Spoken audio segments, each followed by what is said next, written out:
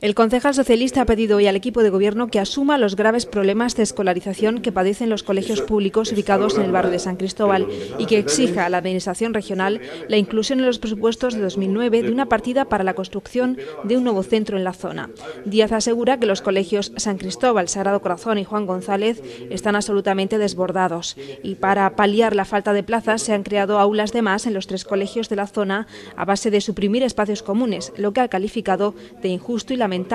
desde el punto de vista de la calidad educativa.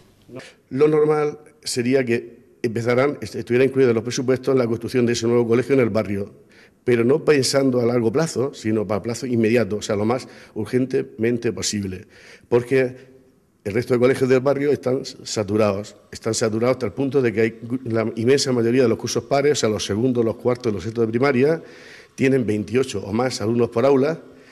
y el resto no, baja de 25. Por lo tanto, encontramos una ratio en torno a 27 alumnos por aula que bueno, es del todo eh, bueno, sinónimo de masificación. Una situación similar, añade el concejal socialista, es la que sufre la comunidad educativa del Colegio Andrés García Soler, que precisa de una ampliación urgente. Ha criticado que el concejal de Educación se conforme simplemente con la ampliación del Colegio Ana Caicedo, una migaja, ha dicho, en comparación con las necesidades educativas del municipio.